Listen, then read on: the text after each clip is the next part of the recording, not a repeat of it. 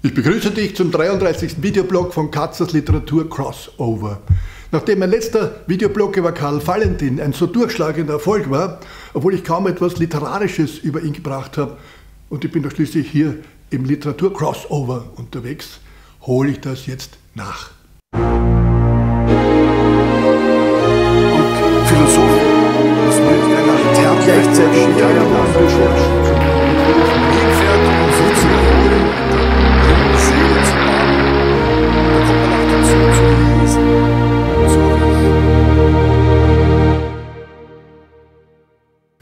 Ich werde mir erlauben, einiges vorzulesen von Karl Valentin, aber nicht auf Bayerisch, das kann ich nicht.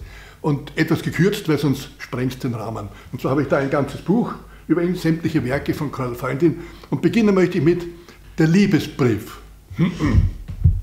Lieber Geliebter, mit weinenden Händen nehme ich den Federhalter in meine Hände und schreibe dir. Warum hast du so lange nicht geschrieben? Wo du doch neulich geschrieben hast, dass du mir schreibst, wenn ich dir nicht schreibe. Mein Vater hat mir gestern auch geschrieben. Er schreibt, dass er dir geschrieben hätte. Du hast mir aber kein Wort davon geschrieben, dass er dir geschrieben hat.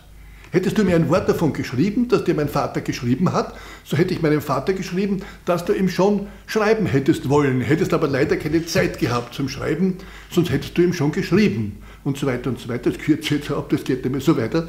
Ich schließe mein Schreiben und hoffe, dass du mir nun endlich einmal schreibst, sonst ist dies mein letztes Schreiben, welches dir geschrieben habe. Verzeih mir die schlechte Schrift, ich bekomme immer einen Schreibkrampf unterm Schreiben. Du bekommst natürlich nie einen Schreibkrampf, weil du nie schreibst.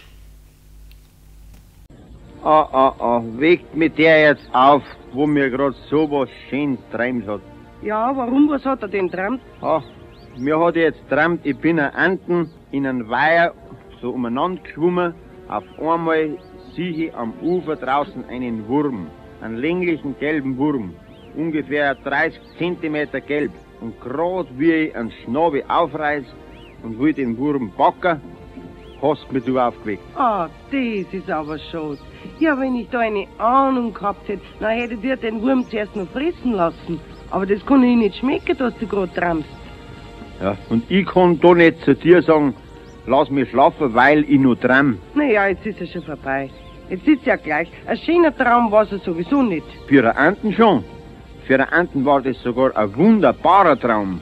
Und wenn's mir's jetzt nicht glaubst, dann träumst heute Nacht dasselbe und grad wenn's in den Wurm reinbeißen willst, dann wecke die auf. Jetzt kommt gleich der nächste Brief, ein Brief aus Bad Aibling. Hochwohlgeborene Anni, liebe Ehefrau und Zuckerschneckerl. Liebe Frau, teile dir mit, dass ich in Bad Aibling gut angekommen bin.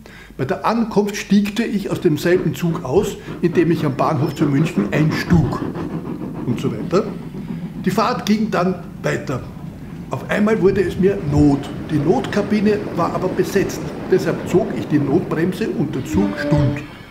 Der Eisenbahnbesitzer stiegte zu mir in das Couplet und schrug mich auf wegen Notzug. Die Gesellschaft im Eisenbahnwagen war sehr gemischt. Es waren fast lauter Reisende. Nur der eine Herr, der in München den Zug versäumte, fuhr nicht mit da wahrscheinlich mit dem nächsten Zug hinter uns nachkommt, in welchem wir auch gefahren wären, hätten wir den Zug auch versäumt. Ich schließe nun meinen Brief und hoffe, dass du mir in München treu bleibst, wenigstens halb treu oder zumindest Viertel über zwei. Meine Uhr habe ich vergessen. Wir haben auch in unserem Schlafsaal keine Uhr. Wenn du mir wieder schreibst, schreib bitte in den Brief hinein, wie viel Uhr es ist. Ich weiß gar nicht, wie ich an der Zeit bin. Und zum Schluss der Weltuntergang. Gestern Nachmittag um neun sitze ich im Restaurant zur verfaulten Blutorange, als der Fotograf am Rückgebäude das Fenster einhaut. Ich lasse in der Angst einen Zitterlehrer kommen und der gemeine Kerl von einer Kellnerin behauptet, sie hätte im Eiskasten schon Feuer gemacht, währenddem mein jüngster Sohn sich mit dem Magneteisen die Hühneraugen aus dem Ellbogen herauszieht. Leider aber hat sich der Bürgermeister im Finstern verlaufen, weil am Zeppelin-Luftschiff keine Hausnummer dort war. Und er lässt unglückseligerweise die Tür auf und im Zeitraum von fünf Minuten seinem 40 Mitesser auskämmern.